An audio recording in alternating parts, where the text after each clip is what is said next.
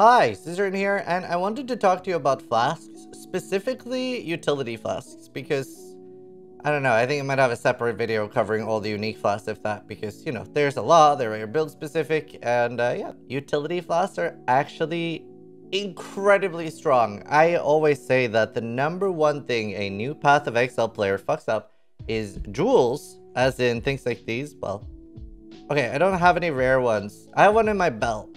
Jewels and flasks, that's what new players fuck up the most. And whenever I'm doing my Sunday roast build review thing, I feel like a large, large amount of players are fucking up their flasks where I'll see some things like, I've sometimes seen three life flasks, two mana flasks. I've sometimes seen two life flasks, two mana flasks, and a quicksilver. Um, and I really wanted to put a stop to that because it's not okay. Uh, so uh, let's let's make a. Uh, I should have a divine life flask here too, and uh, let's let's make a quick video about the regular flasks and how powerful they are because they are very powerful. Somebody will be like, Zizaran, hey, I'm doing tier 16s and I'm struggling with survival. And I'll say like, slap on a grade and a jade. And they're like, that did it, I'm immortal. Poggers. Let's talk a little bit about flasks, explain them and what you should use, why and how and when. So let's start with the what most people keep in slot one, a life flask. I usually always only use one life flask and that starts as early as around 28. Uh, most people maybe prefer two life flasks early on in the campaign and that's okay. But uh, for mapping, you should probably not have two life flasks. Something else I see people do is they don't roll their flasks well enough. You can use currency on flasks. So that that is amazing. Not everybody knows that, but now you do. So you can roll them. Uh, you can bubble them where they're white, then it costs four, costs four glassblower's baubles. And now you can roll it. What are you rolling for though? So I normally keep either bubbling or seething. Um, the new low life builds can keep uh, panicked, but I would never use panicked on a full life build. They only work when you're 50% and below, and it's so easy to get one shot from that. So I always make sure that I have either a bubbling or a seething. And the reason that we do that is because you're very, very rarely getting killed slowly over time. You're very rarely degenning and you're like, oh no, I'm dying, even through my life flask. So because of this, instant life flasks are incredibly powerful. Normally what happens is you take a big chunk and then another chunk and you're dead. Being able to like instantly flask back up, screaming to your friend on Discord, holy shit, I almost died. Uh, but you saved yourself by flasking up to full. Honestly, like, I just wanted to make sure I talk about instant life flasks because I feel like I see so, so many times that people don't have them. And and what affix should you have on a instant life flask? So early you just roll whatever, right? It doesn't matter what it has. You just want to make sure it's instant. But whenever I get a choice, there is the debate whether should you have bleed removal or should you have freeze removal. This league in particular, bleed removal is something I always keep on an overtime flask because I want to make sure that I'm, my character never experiences bleeding or corrupting blood of any form because it's so incredibly dangerous. We've seen people die to things like the, the Rigwald boss where he just like, like just vaporizes your life. Uh, and you might not have time to use your instant life flask with bleed removal. So I, I always do it on overtime. And that's another thing with me being a streamer. Sometimes I'm reading chat and I might not discover um, the fact that I'm bleeding. So I would rather have freeze immunity because, you know, I'm, I'm probably realizing I'm frozen very quickly. I've usually clicked the strong box. The, the big downside of having uh, freeze immunity on a Divine Life Flask is chilled ground. It feels awful. Kind of want to just reroll all chilled ground maps because they're so slow. Um, so that is the downside, but either one of those, whichever one you prefer, they're either fine. Let's look at the other ones. So we can start with Jade and Granite. They are like the two most important flasks in my opinion, closely followed or maybe even Quartz might be the most important, but let's talk about these three flasks. So Jade, this is a really incredibly strong flask on pretty much any character. It's really, really good for dealing against porcupines which are the uh, the quill porcupine things that just they explode and you've probably died to them. Um, the, these are a really really good defense against those. And uh, Jade is obviously well mandatory if you're playing a trickster, but for so many builds, just very very good defense against uh, monsters. And it's really, really good because this doesn't matter if the attack is elemental or if it's physical. It just matters that it's an attack. It doesn't help against spells, but it's really, really good for everything like that. And you'll, like, this character has, well, no evasion, 500, and getting 3000 more is just very, very nice for those small attacks. And as for the prefix, I normally always try to roll Chemist on all of mine. That makes them very, very easy to keep up. I'm not a big fan of duration because I smash my flasks too much anyway. I smash them way too much, so I will never intentionally roll duration because I don't wait that long. I usually over flask. Incidentally, all of mine have duration right now, but Chemist is the preferred one. That's the reduced flask charges. And Chemist is actually uh, needed on both the Basalt Flask and the Silver Flask for it to have two charges. Without, it has one charge. And it needs to be 23% reduced.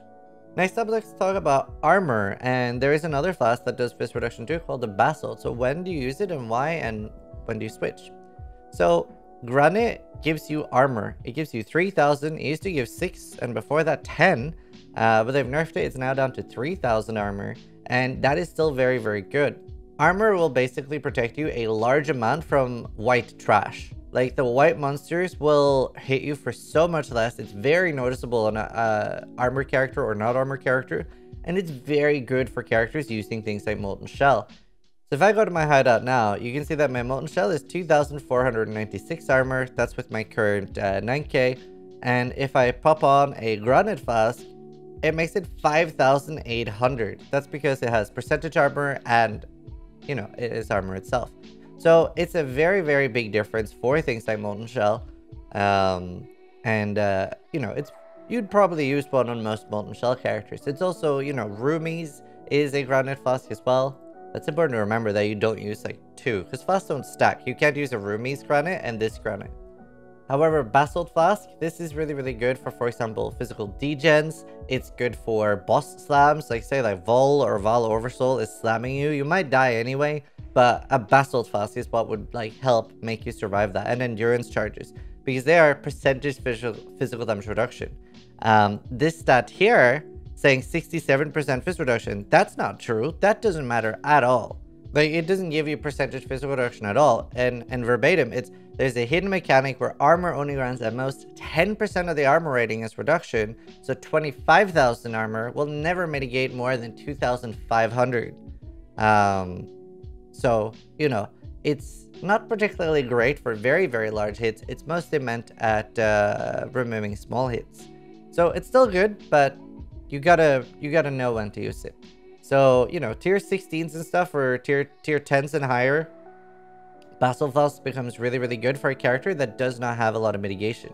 So frequently, I will use a Jade and a Basalt.